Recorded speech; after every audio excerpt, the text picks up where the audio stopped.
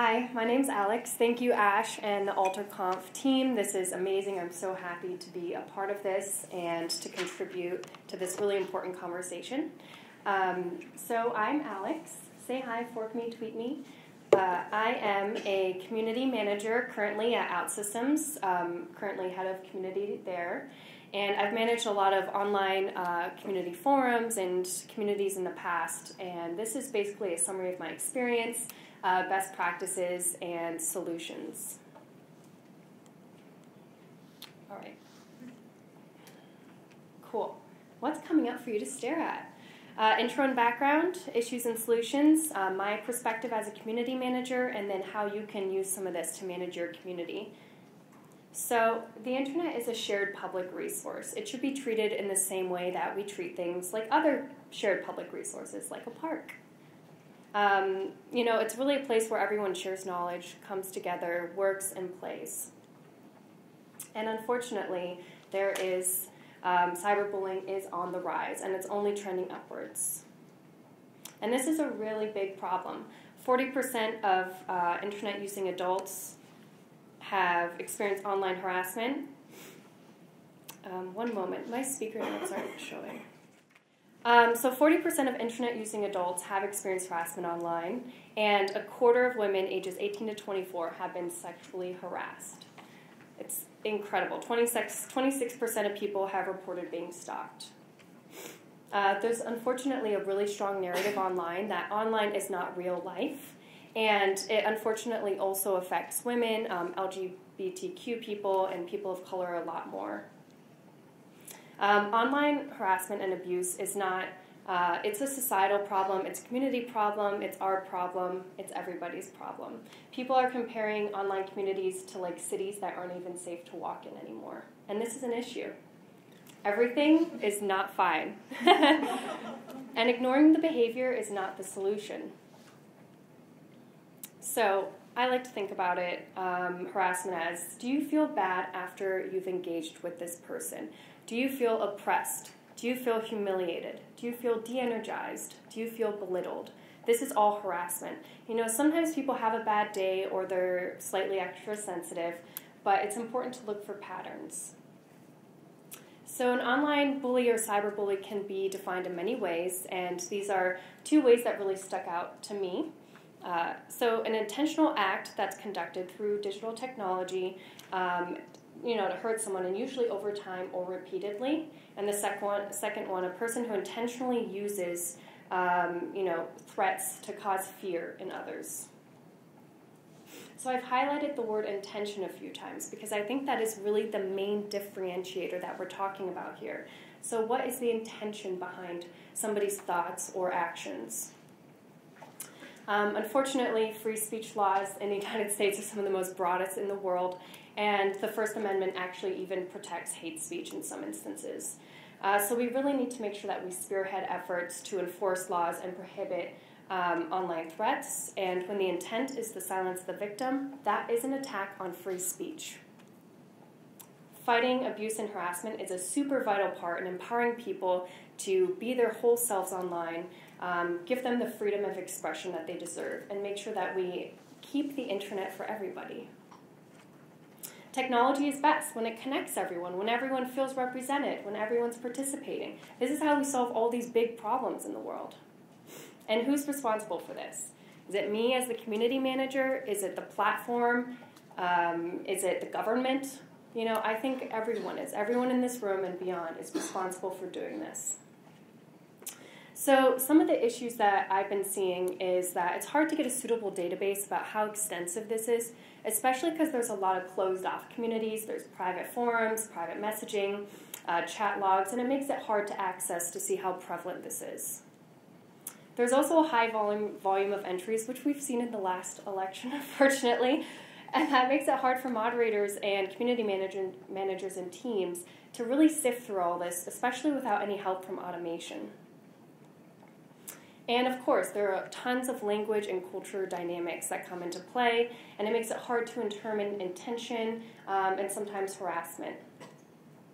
And people are trying to stop this in silos. They're trying to do it individually when really that's not the approach that we need.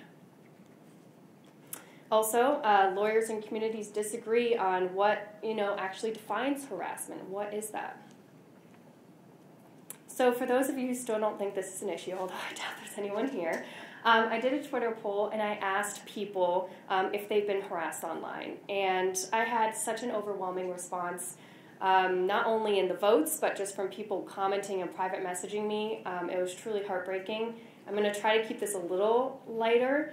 Um, but this is just the tip of the iceberg. You can see 67% said yes more than once. Um, a quick example. Let's see. So the one on the bottom, she was going to, she stops going to tech meetups now. Um, one reason was because they weren't having code of conducts, and she was experiencing, uh, you know, bad times at tech conference or tech conferences and meetups. And so again, a code of conduct is imperative for every event uh, that you have.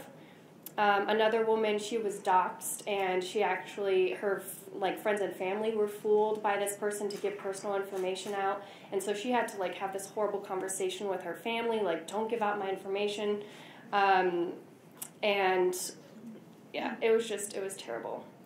I asked the same question to the men of Twitter, and um, overwhelmingly said no, but then also 42% did say yes more than once, and I was um, unfortunately surprised by this. And we had a few reactions as well. Um, but this is why we can't have nice things. so, what are the solutions? Uh, we need to develop algorithms and tools that really can automatically assess, uh, assess and detect and remove this harassment.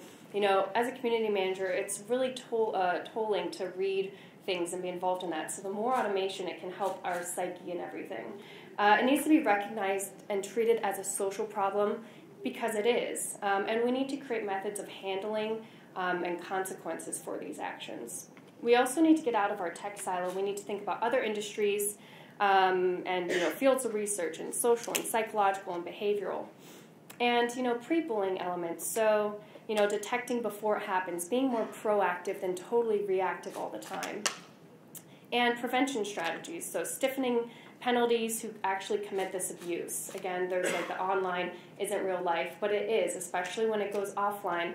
Uh, from doxing and swatting and threat, threatening, there needs to be um, proper proper uh, penalties for these people. So, in order to solve this issue, it's going to take all of us.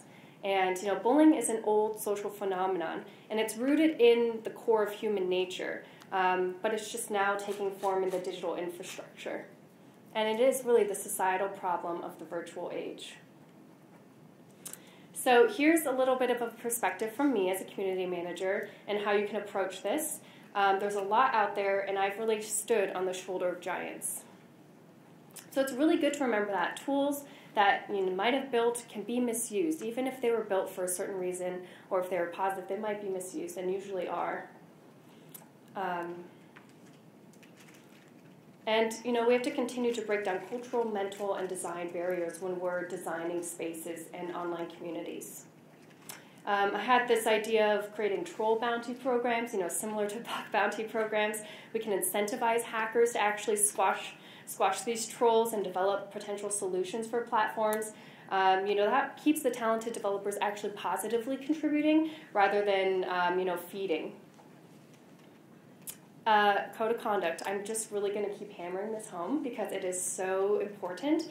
Every community, uh, every platform, every event needs a code of conduct.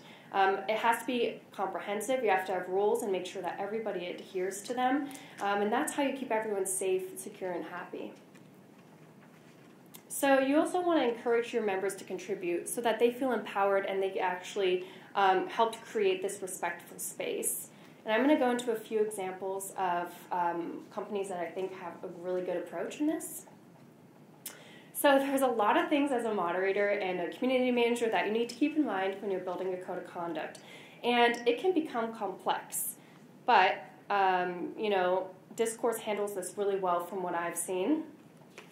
And these guidelines don't have to be as complex as they need to be, but they do need to exist. Uh, you see, as an example, McDonald's has you know a simple drive-through code of conduct, simple guidelines. If McDonald's drive-through has it, why doesn't everywhere else have it? so, Discourse set out some general guidelines um, for approaching when you're developing code of conduct. Uh, make sure that they're short enough to skim, but you're not leaving out, you know, um, you're not leaving out what's really important, and it's not just a block of text. Uh, have positive, upbeat tones in it, and you know, really, the code of conduct is for creating a civilized discourse. So, Coral Project, one of the, my like most favorite communities in the space.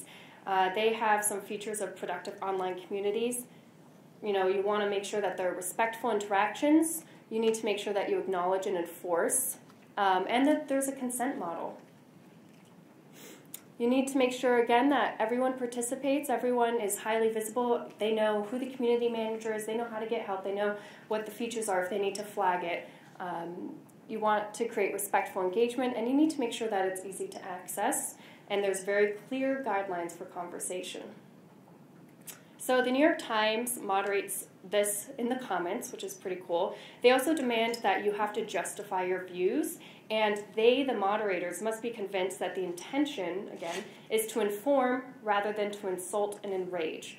I know that sometimes a lot of people are closing down comments and news, and the New York Times has a very good approach um, with that. ELO, uh, or ELO, I'm not sure how I pronounce it, they are really good at cultivating respectful online communities. I just love this quote. Ello was created by idealists who believe the essential nature of all human beings is to be kind, considerate, helpful, intelligent, responsible, and respectful. I just think that's amazing. That's what the community should be about. And they have, you know, a whole list of really great things. This is just a snippet. Um, don't threaten people. Don't post other people's information. Don't spam. Don't hurt young people. Don't intrude on other people's privacy. Don't be a nuisance regarding technology. And their logo is a smiley face. Imzy um, is a really great example as well. so, three really simple approaches by Imzy you have to be a member in order to actually participate. So that kind of uh, really tones down the drive-by trolling and makes that nearly impossible. And that's really membership is key to stopping harassment. And unlike Facebook, that requires you to post under your real name, you can actually set up um, different like profiles by community by community. So if you were potentially in like a neighborhood forum, you might want your identity to be known because you're talking with your neighbors.